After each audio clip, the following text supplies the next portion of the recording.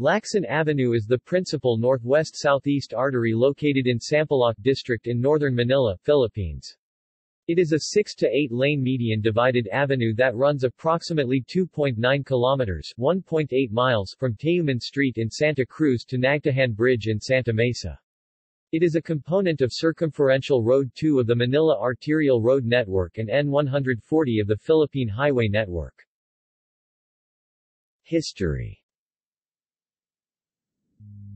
The avenue was originally named Forbes Street or Governor Forbes Street, after William Cameron Forbes, Governor-General of the Philippines, under whose administration the road was begun.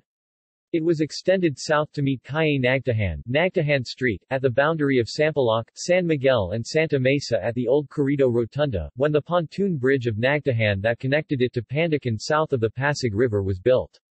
Nagtahan Bridge was renamed to Mabini Bridge in 1967, while in 1971, Governor Forbes Street was renamed to Arsenio H. Lacson Street, after the Manila mayor of the 1950s.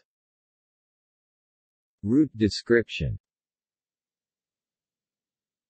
Traveling south, traffic emerges from Tayuman Street into Lacson at the junction with Consuelo Street in Santa Cruz District right across from SM City San Lazaro.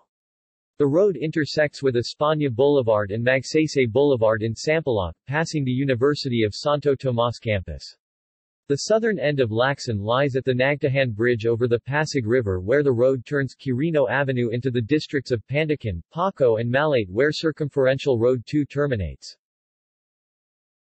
Lacson Avenue also has a short narrow extension north of Tayuman Street beside SM City San Lazaro into Yuseco Street in Santa Cruz District. Landmarks.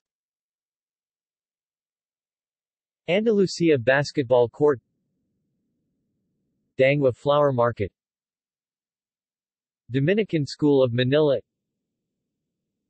EARIST Hospital of the Infant Jesus Corner Laong Laan. Mercury Drug Corner Laong Laan. Sampaloc Fire Station SM City San Lazaro.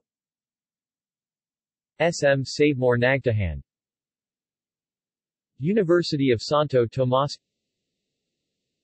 University of Santo Tomas Hospital. References